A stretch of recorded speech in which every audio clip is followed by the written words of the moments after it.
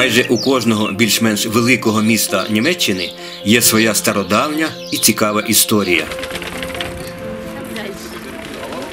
Сучасне місто Ерфурт з населенням понад 210 тисяч жителів, столиця федеральної землі Тюрингія, вперше згадується в історичних документах ще в 742 році. З того часу місто перебувало під владою багатьох королівств, держав та імперій, зокрема священної Римської імперії, королівства Прусії, Французької імперії Наполеона Бонапарта і, нарешті, комуністичного блоку у складі так званої Німецької Демократичної Республіки. Серед старовинних архітектурних пам'яток привертають увагу насамперед дві великі церковні споруди, що височіють на пагорбі біля Соборної площі, головної торгової площі міста. Це кафедральний собор і церква святого Севера.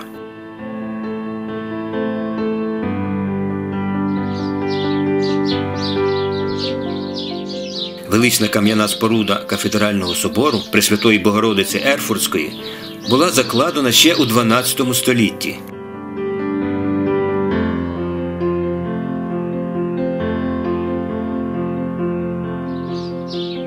Ця будівля є сьогодні головним храмом Ерфуртського єпископства Римо-католицької церкви в Німеччині.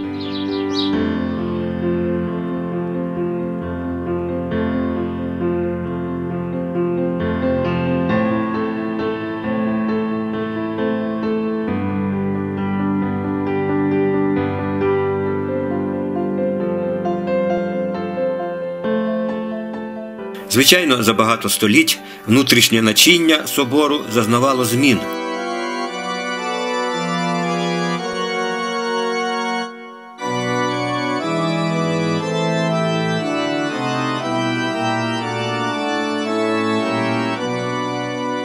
Але й до сьогодні тут збереглося чимало старовинних ікон, фресок, картин, скульптур, різнокольорових вітражів.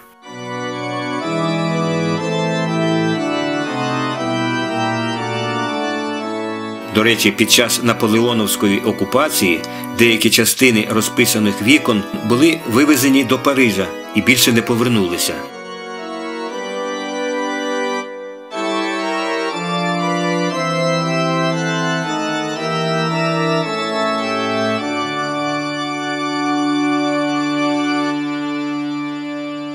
Ерфуртський собор, нинішній вигляд якого остаточно склався в 15 столітті, є найважливішою та найстарішою будівлею в місті.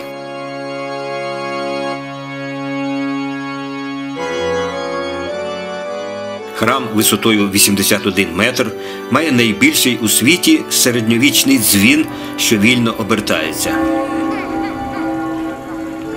Поруч з кафедральним собором розташована церква святого Севері Севері Кірхе, збудована у 14 столітті.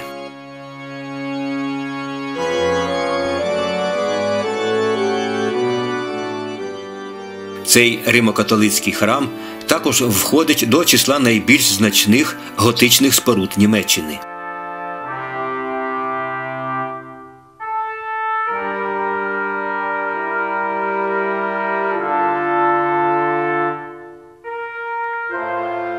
Всередині знаходиться саркофаг, в якому було перепоховано останки єпископа Северуса фон Равена та його дружини і доньки, які жили і померли ще в IV столітті в італійському, нині неіснуючому місті Равені. Під час правління Наполеона Севері Кірхе на початку 19 століття тимчасово використовувалася як французький військовий госпіталь. А в 1811 році навіть було оголошено про продаж і знесення церкви.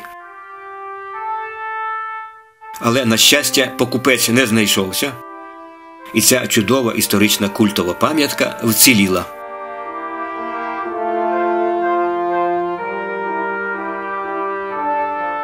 Кафедральний собор і церква святого Севері створили унікальний архітектурний ансамбль, який є візитівкою міста Ерфурт.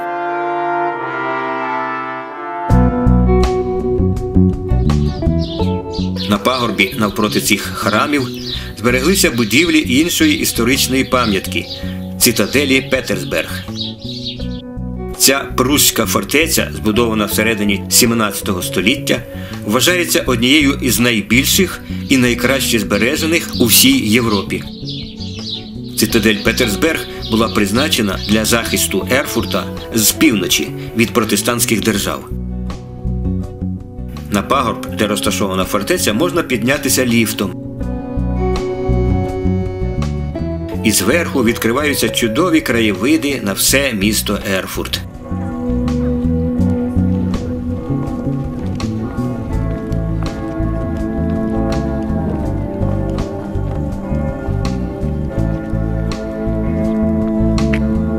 Укріплення та бастіони цитаделі Петерсберг впродовж трьох століть використовувалися за своїм прямим призначенням як захисні військові споруди під час численних війн, в тому числі і під час Першої та Другої світових війн у минулому столітті.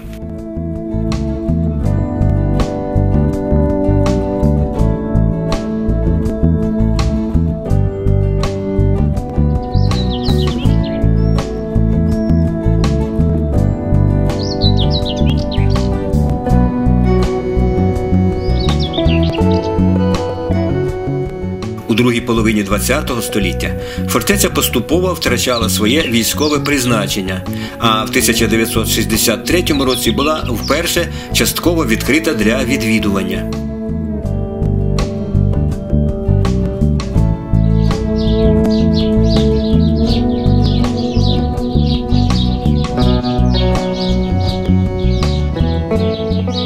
Масштабної реконструкції в 1990 році цитадель Петерсберг в Ерфурті перетворилася на вільний і постійно відвідуваний туристами історичний об'єкт.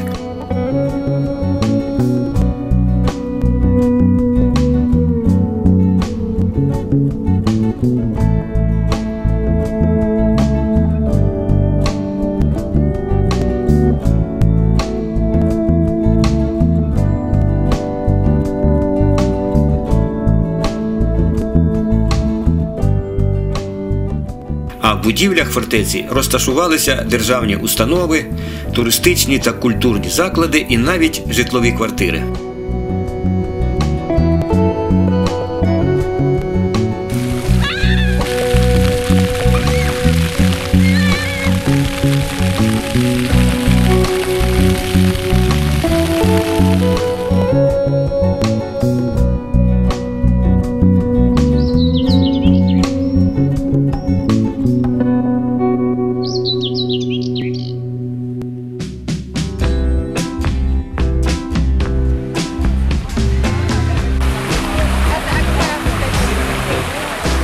Гуляючи історичною частиною старовинного міста Ерфурт, який має один із найкраще збережених і найбільших середньовічних центрів Німеччини, ми неодмінно натрапимо на визначну й унікальну споруду Кремер-Брюке, тобто міст Кремера.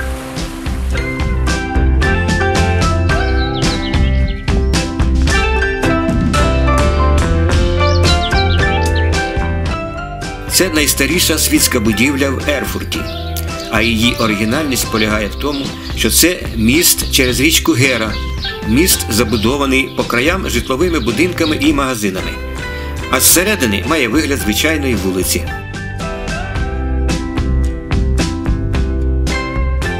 Спочатку дерев'яний, цей міст було побудовано в далекому 12 столітті а в 15 столітті його перебудували, використовуючи кладки з каменю, вапняку і пісковику.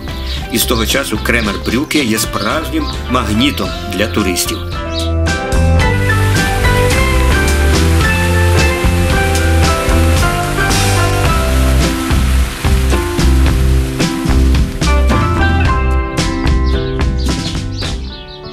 Завершуючи нашу коротку екскурсію містом Ерфурт, ми обов'язково згадаємо і про видатного католицького священника, ініціатора руху в церкві, названого реформацією Мартіна Лютера, якому в місті встановлено пам'ятник.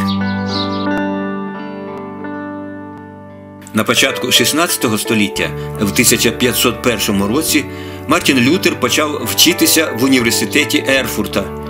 І тут же, в 1507 році, в місцевій церкві він був висвячений на священника. В історію німецької громадської думки Мартін Лютер увійшов як впливовий реформатор церкви, освіти, мови і навіть музики. І за опитуваннями німців Мартін Лютер після Аденаура, першого федерального канцлера, є другим великим німцем в історії цієї країни.